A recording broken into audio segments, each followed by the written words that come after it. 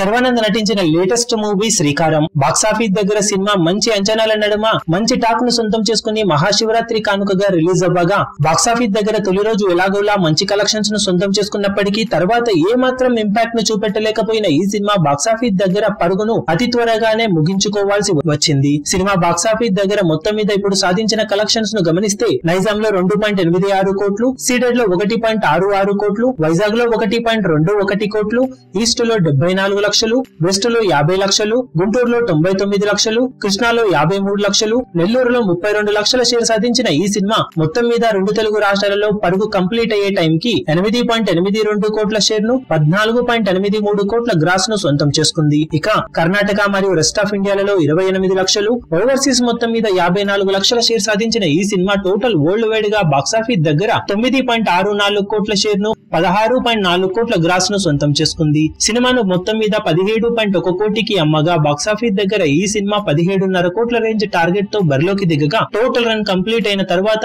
Break even target నుండి సుమారు ఏడు పాయింట్ ఎనిమిది ఆరు కోట్ల లాస్ను సొంతం చేసుకుని బాక్సాఫీస్ దగ్గర డిజాస్టర్గా నిలిచింది. దాంతో బ్యాక్ టు బ్యాక్ నాలుగు డిజాస్టర్ మూవీస్తో కెరీర్లో ఆల్ టైమ్లో స్టేజ్కి వెళ్ళిపోయాడు శర్వానంద్. ఈ సినిమాతో కంబ్యాక్ ఇస్తాడని భావించిన సినిమాకు పాజిటివ్ టాక్ వచ్చినా కానీ బాక్సాఫీస్ దగ్గర పోటీలో ఈ సినిమా ఏ మాత్రం కలెక్షన్స్ను సొంతం చేసుకోలేక డిజాస్టర్గా పరుగును ముగించాల్సి వచ్చింది.